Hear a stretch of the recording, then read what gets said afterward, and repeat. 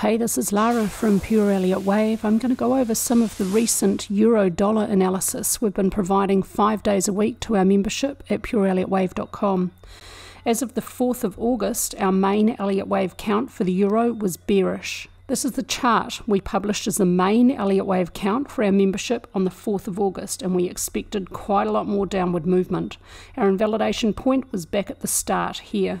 Moving forward to the 10th of August, despite the sharp upward spike that happened, this whipsaw on the 10th of August, our analysis remained very bearish. This was the chart that we published as the main Elliott wave count for our membership. It was very bearish. Despite price finding support still at the lower edge of this channel, we expected that channel to be breached and for an increase in downward momentum as the third wave at 2 degrees continued to move lower. And that is exactly what happened.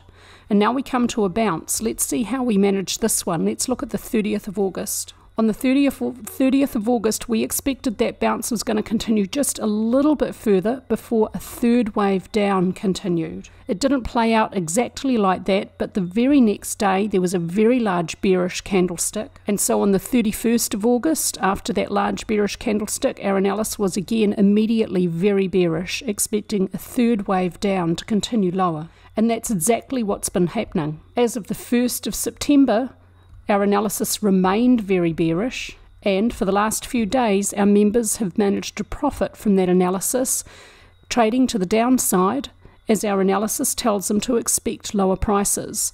So, if since the 4th of August you've lost money trading euro because you've been trying to trade it in an uptrend, particularly when this bounce happened and we expected overall downward movement after this session, if you've lost out because of that, because of poor analysis, then maybe you should consider getting our analysis five days a week for the euro dollar, text and charts Monday to Friday, plus a video for end of week on Friday.